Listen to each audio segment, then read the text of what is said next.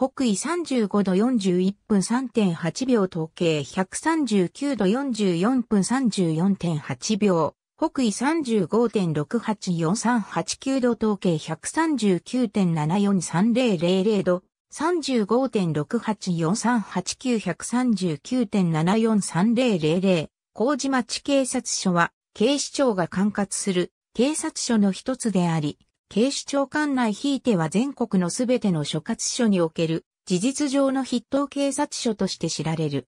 長い間にわたって日本で最初に開設された警察署であるとされていたが、誤りである。署員数300名以上の大規模警察署であり、署長の階級は警視正。識別証所属表示は MA。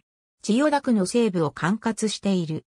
館内には主に皇居や首相官邸、国会議事堂、霞が関の官庁街、最高裁判所、英国大使館、靖国神社など多くの警備対象である施設が集中する。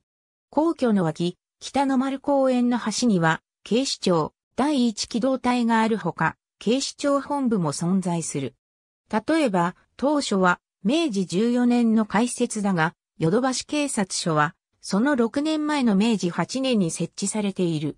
このように、警視庁管内でも当初より開設時期が早い、警察署はいくつか存在が確認されており、全国的に見れば、当初より歴史のある警察署は相当数存在するとみられる。